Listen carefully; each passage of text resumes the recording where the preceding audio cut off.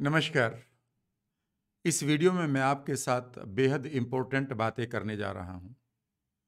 बहुत सारे लोग हैं जिनके पास ऐसा लगता है कि नॉलेज बहुत है किताबों की, लेकिन एक सद्बुद्धि यानी कि विस्डम की कमी उनको जीवन में रोक देती है।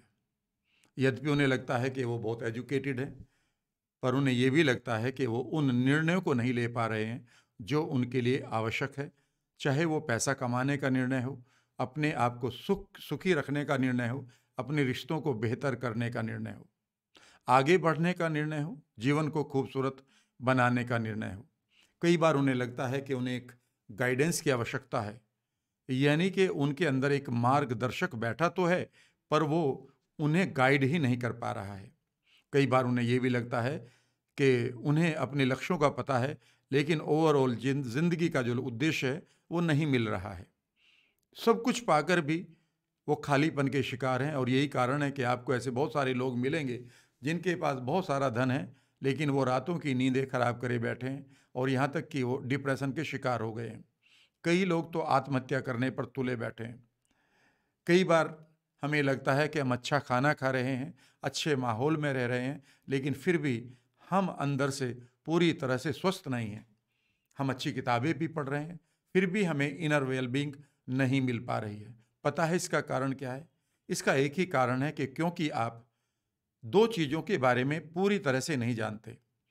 एक है आपकी हायर सेल्फ और दूसरा है यूनिवर्स अगर आप इस वीडियो में हायर सेल्फ के बारे में जानकर यूनिवर्स के आई मीन बारे में थोड़ा सा और जानते हुए इन दोनों को कनेक्ट करना सीख लेंगे तो जितने भी मसले आपके जीवन में चल रहे हैं, चाहे वो हेल्थ के हैं रिश्तों के हैं, पैसे के हैं, आपकी खुशी के हैं, दुख के हैं, जितने भी मसले हैं, उन्हें आप रिजोल्व कर सकते हैं।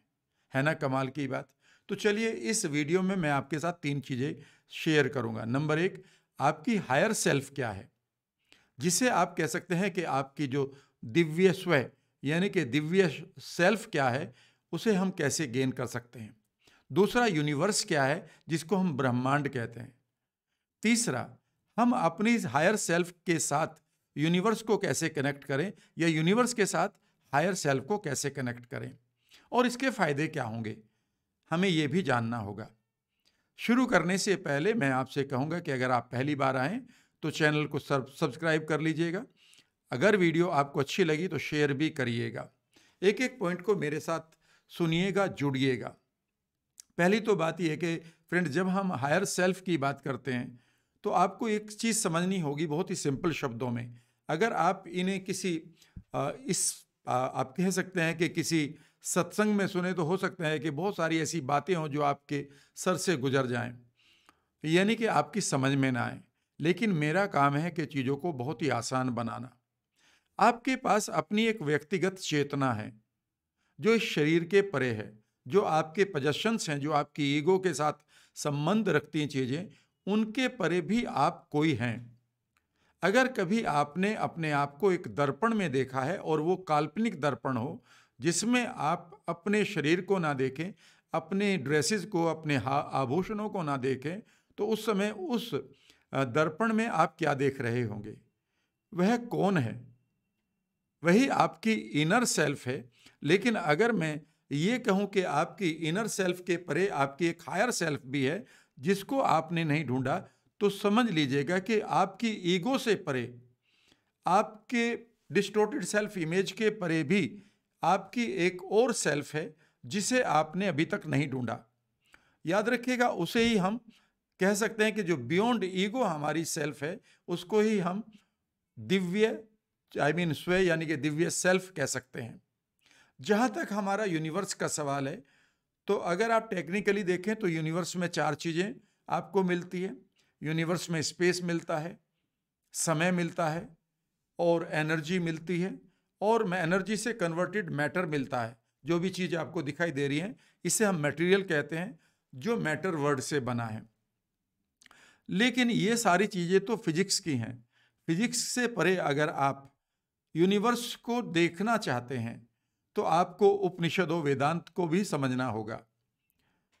यूनिवर्स बेसिकली एक एनर्जी का स्वरूप है, यानी कि वहाँ पर एक ऊर्जा है, जिसे हम कई बार ब्रह्मांडीय ऊर्जा कहते हैं।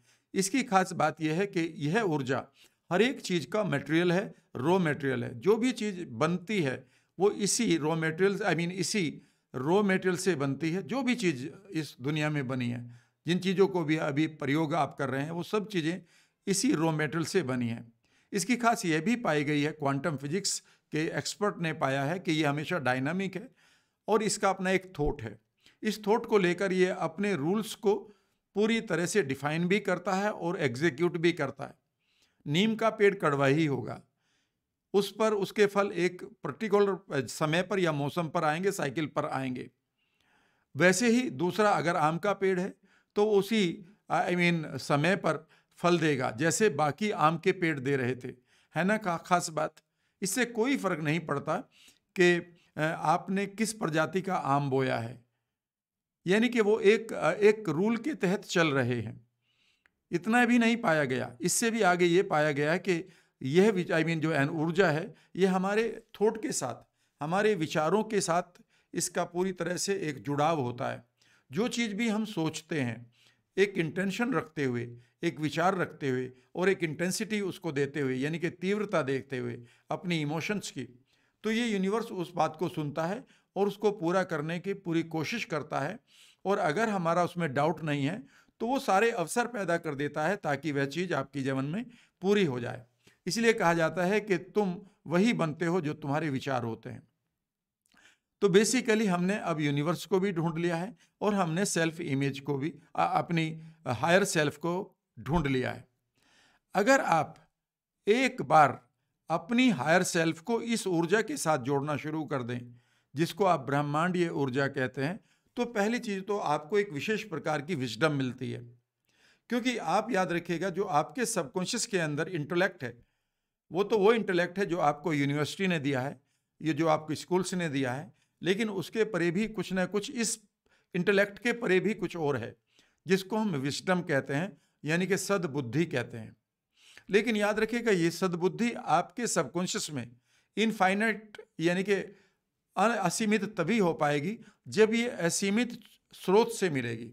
और इसके लिए जो असीमित स्रोत है, वो वही है जिसकी, जिसको हम यूनिवर्सल एनर्जी कहते हैं, जिसके अंदर एक थॉट है, जिसके अंदर कुछ नियम है, जिसके अंदर एनर्जी है और जिसके बहुत सारे गुण हैं।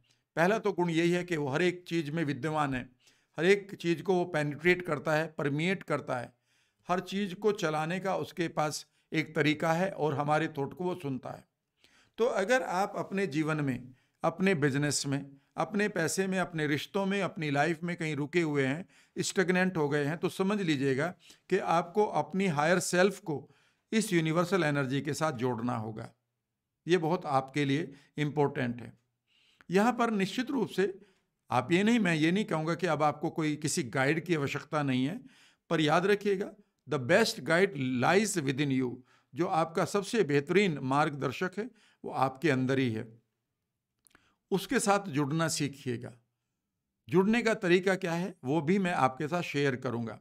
दूसरी चीज़ है गाइडेंस अगर आपको कई बार लग रहा है कि आपको रास्ता नहीं मिल रहा है तो कई बार उस रास्ते को दिखाने वाला मार्गदर्शक आपके अंदर बैठा हुआ है।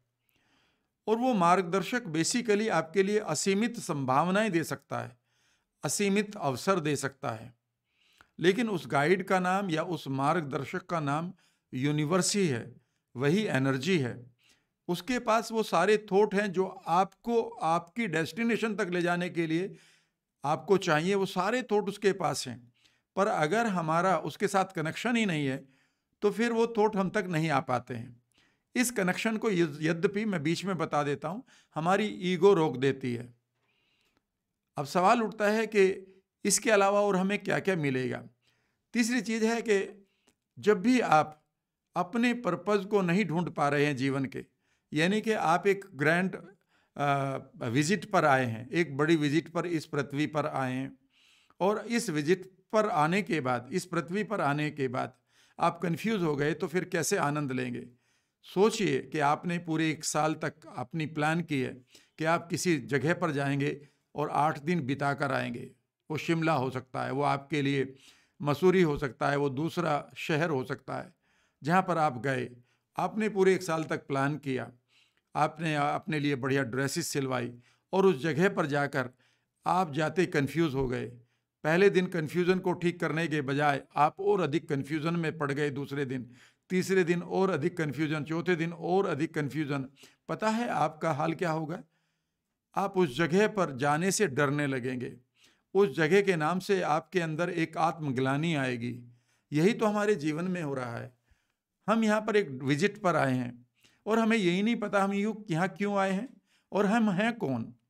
और हम यहाँ पर करने जो भी कुछ कर रहे हैं क्या वो हम सही कर रहे हैं या गलत कर रहे हैं?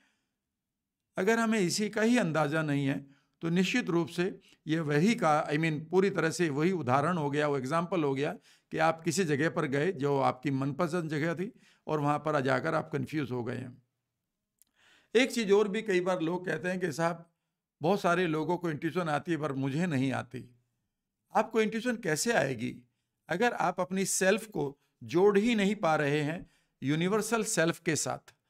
यानी कि मैं एक बूंद पानी हूँ और इस पानी को एक नेचर चाहिए, इसकी एक प्रकृति होनी चाहिए और इस प्रकृति के लिए निश्चित रूप से मुझे एक पानी की झील से जुड़ना पड़ेगा। वो झील कैसी होनी चाहिए? अगर मुझे अपने पानी में सॉल्ट देना है तो मुझे सोल्टी लेक के पास जाना होगा। लेकिन अगर मेरी बहुत आई मीन मेरे पास जो बूंद हो पानी की, वो स्वच्छ हो तो निश्चित रूप से स्वच्छ लेक के पास जाना होगा। इसलिए याद रखिएगा जब भी आप खूबसूरत संदेशों को प्राप्त करना चाहते हैं तो ये संदेश यूनिवर्स में घूम रहे हैं आपके लिए। इनको साइंस भी मान चुकी है। सिंक्रोनिसिटी कहते हैं इनको। ये तभी मिलेंगे जब आप इसके साथ जुड़ेंगे। इसलिए जुड़ना ज़रूरी है। और इसके बाद सबसे बड़ी बात है कि अगर आप इंटरनली खुश नहीं हैं तो आप नाखुश ज़रूर हैं। ठीक है ना? और अगर आप अनहैप्पी हैं इंटरनली तो आप अपनी हायर सेल्फ को यूनिवर्सल सेल्फ के साथ जोड़ना सीखिए। अब आपका सवाल होगा कि मैं कैसे जुड़ूं? कुछ चीज़ों को मैंने स्टडी किया। यद्यपि मैं बहुत सारी चीज़ों को स्टडी करके अपने ऊपर भी लागू करने की कोशिश करता हूँ, कुछ रह भी जाती हैं। पर जो भी मुझे बहुत ही खूबसूरत चीज़ें मिली हैं और जो करने के लिए बहुत आसान है, वो मैं आपके साथ शेयर करूँगा। मैं ये तो नहीं कहूँगा आपको कि आप घर बार छोड़कर, आप अपने सभी जिम्मेदारियों को छोड़कर आप हिमालय में चले जाएँ और आप एस्केप कर जाएँ इस वर्ल्ड से, बिल्कुल नहीं कहूँगा। हम ग्रस्त में रहकर सबसे बेहतरीन काम कर सकते हैं। आप एक खूबसूरत ऑफिसर हो सकते हैं, आप एक खूबसूरत या बहुत ही होनहार स्टूडेंट हो सकते हैं, आप होनहार बहुत अच्छे एक बिज़नेस पर्सन हो सकते हैं। आप अपना काम करते हुए अपनी हायर सेल्फ को एक बार कनेक्ट करिए और जो भी आप जीवन में कर रहे हैं, उन्हें बेहतर तरीके से करिए। पहली चीज़ है जो चीज़ आपको करनी चाहिए। मैं छः या सात चीज़ें आपके साथ शेयर करूँगा। अगर आप अपनी हायर सेल्फ को इस यूनिवर्सल एनर्जी के साथ जोड़, जोड़ना चाहते हैं तो आप माइंडफुलनेस को प्रैक्टिस करना शुरू करिए। माइंडफुलनेस का मीनिंग है कि आपको वर्तमान के पलों में जीना सीखना होगा। हमें पता ही नहीं चलता है कैसे हमारा रोज एक दिन गायब हो जाता है। कुछ भी पल कई बार हम अपने साथ नहीं होते। और अब तो इतनी बुरी हालत हो गई है कि आप अपने मोबाइल को स्क्रॉल करते करते करते घंटों बाद आपको पता चलता है कि अब आपकी आँखें दुखने लगी हैं। और आप कहाँ से चले थे? आपने पहली बार कहाँ से स्क्रॉल शुरू किया था? और डीप जाते जाते जाते जाते आप कितनी चीज़ों को किया, कितने गार्बेज को आप ले चुके हैं। यानी कि आप खो चुके हैं। आप उस तरह के व्यक्ति हो गए हैं जो एक डीप स्लीप में हैं, खुली हुई आँखों से। ये तो वही वाली बात है कि आप जी तो रहे हैं, पर समय का आपको बिल्कुल भी बोध नहीं है। आप थोड़ा सा काम करना शुरू करिए। कई बार आप पाँच मिनट के लिए बैठिए और सोचिए कि इस समय इस पल को मैं कैसे एक्सपीरियंस करना शुरू करूँ। ये बहुत आसान है। आप कई बार सिर्फ़ अपनी बॉडी को एक्सपीरियंस करना शुरू करें। इस समय मेरे घुटनों में क्या चल रहा है? इस समय मेरी लंग्स में क्या चल रहा है? इस तम, इस समय मेरा हार्ट कैसा फील कर रहा है? इस समय मेरे कंधों में क्या फीलिंग है? और इस समय मेरे पैरों के पंजों से लेकर सर की चोटी तक कौन सी फीलिंग्स चल रही हैं? इनको एक बार महसूस तो करना शुरू करिए। आप पाएँगे कि सडनली आपको नया आभास होना शुरू हो गया है। आप पहली बार अपने मोमेंट के साथ जुड़ रहे हैं। इस काम को करना शुरू करिए। और इस काम को करते करते धीरे धीरे आप मेडिटेट करना शुरू कर देंगे, यानी कि मेडिटेशन की अवस्था में पहुँच जाएँगे। आप मेडिटेशन भी करना शुरू करें। तो माइंडफुलनेस एंड मेडिटेशन आपकी हायर सेल्फ को धीरे धीरे जोड़ना शुरू करेगा। पहले तो आप ही के साथ। आप कॉन्शियसली तो जानते ही नहीं अभी कि आपके पास एक खजाना भी है। ये तो वही वाली बात होगी कि आपकी तिजोरी में करोड़ों रुपए हैं लेकिन आपको यही नहीं बताया कि ये मेरी तिजोरी है और तिजोरी आपके सामने रखी हुई है और उस तिजोरी को आपने टेबल बना के रख दिया है या एक स्टूल बना के रख दिया जिसके ऊपर बेकार के कपड़े बेकार के कागज़ और कुछ आई I मीन mean, बेकार के सामान रखा हुआ है जबकि उसमें करोड़ों रुपये हैं। यही हो रहा है हम लोगों के साथ। दूसरी चीज़ है आपको नेचर के साथ कनेक्ट करना चाहिए। जब भी आपको मौका मिले नदियों के किनारे बैठिए आपको एक विशेष प्रकार की अनुभूति होगी। आप पहाड़ों पर जाइए आप आप बागों में जाइए आप अपने खेतों में जाइए आप पौधों के साथ बैठिए कभी घास के साथ बैठिए।